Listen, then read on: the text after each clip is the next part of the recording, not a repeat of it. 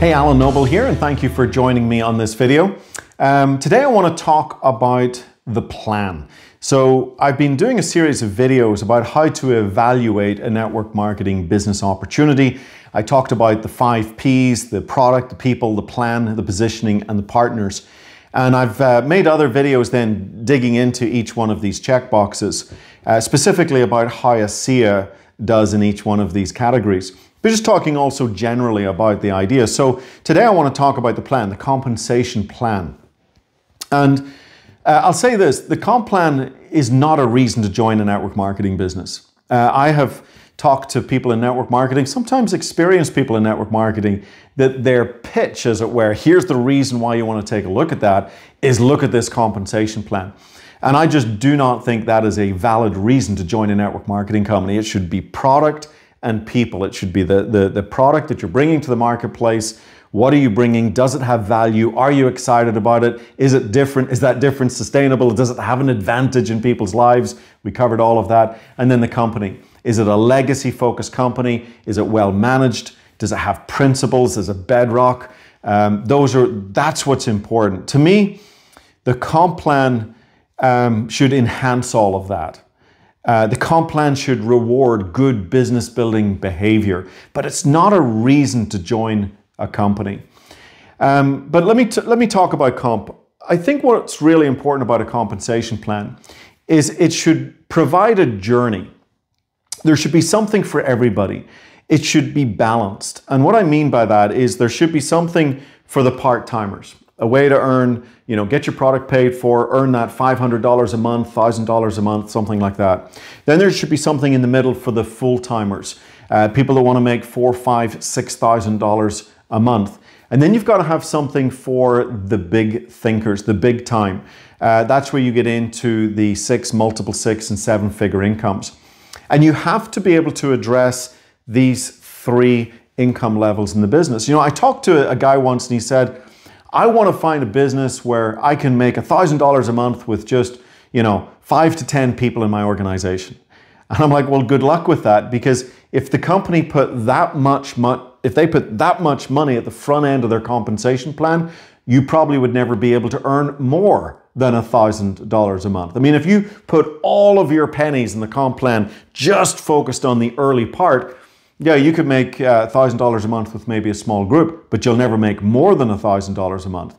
And you'll never attract strong business builders and leaders. And remember, everything rises and falls on leadership. You've got to have a comp plan that attracts leaders. But let's go to the back end of the plan. You know, I've seen plans where they put all that money at the back end of the plan, and I've seen a company I can think of, I'm not going to mention their name, but they had two master distributors that were making, I think, seven or eight million dollars a year. They were making really big incomes. And everyone else was starving to death. Okay, they'd moved all their money just to reward a few. Guess what? That company is not in business. They're, they're gone. Okay, so you've got to have something for everybody. And I want you to think of a compensation plan as a journey. Okay, a journey from the part-time. And if you want then a journey into full-time and if you want a journey into the big time. And it should be this smooth journey. It should be a balance. So rather than you know a compensation plan is about balance. It's about balancing the front end the middle and the back end of the comp plan. And that's actually quite tricky. There's an art to that. Uh, it's it's it's not as easy as you'd think it would be. And the truth is that's why sometimes comp plans are quite complex is because they try and create these balancing mechanisms um, that make that journey as smooth as possible and as fair as possible. That's why you can't just, you know, say, well, I'm going to pay this percentage. You've got to learn to cut the pie uh, uh, in different ways. It, again, it gets, it gets complicated. Um, the other thing to think about a comp plan is uh, to kind of continue that thought is you can't just take one piece of a compensation plan and compare it to another piece of a compensation plan.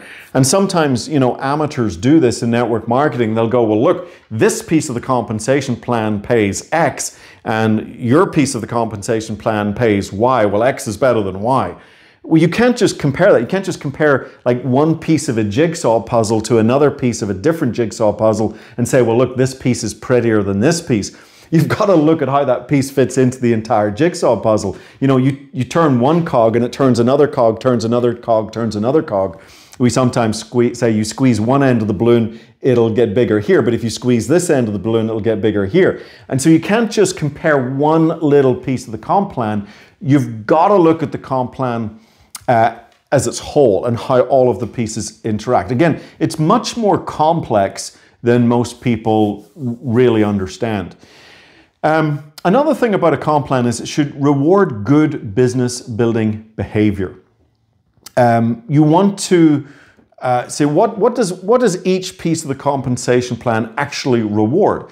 And so in ASEA, we have pieces of the compensation plan that re reward acquiring customers. That's a really important business building behavior. We've got another piece of the compensation plan that rewards you for getting new associates started in your business. Then we have another piece that uh, rewards you for starting to build the first uh, little piece of network, the first brick of your business, the first little piece of duplication. We call it the director bonus.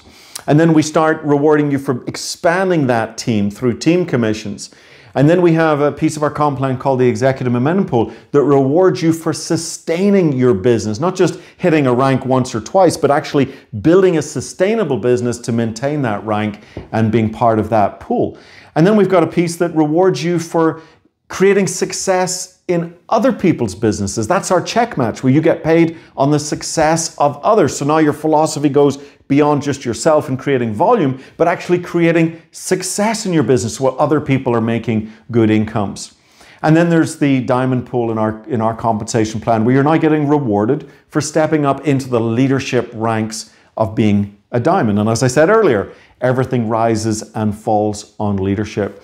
So you've got to really make sure you're rewarding good business building behavior. And you don't want to be rewarding bad business building behavior, okay?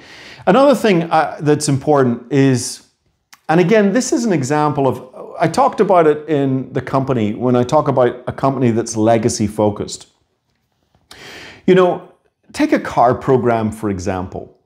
You know, you can take, take a Mary Kay, a well established cosmetic company, their headquarters are just down the road from me, uh, very, very successful company.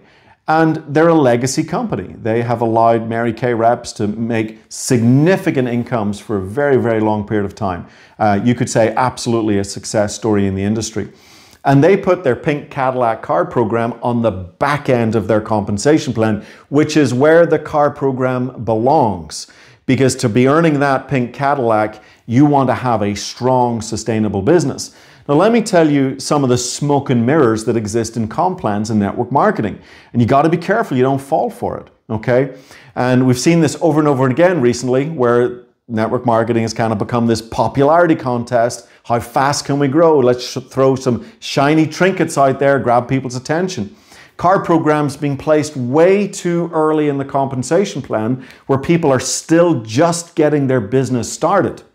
Okay? There's no real stability to it yet. And we've seen, like I remember a company, again, I won't mention any names, that had a BMW program. And they put it way too upfront on the, in the compensation plan. But guess what? It was exciting. It was hypey. It was something to talk about. Everybody was earning their BMWs, but guess what? They couldn't sustain it. It was too early. Their business was too immature. And they couldn't then keep hitting that, whatever they had to hit to earn the BMW.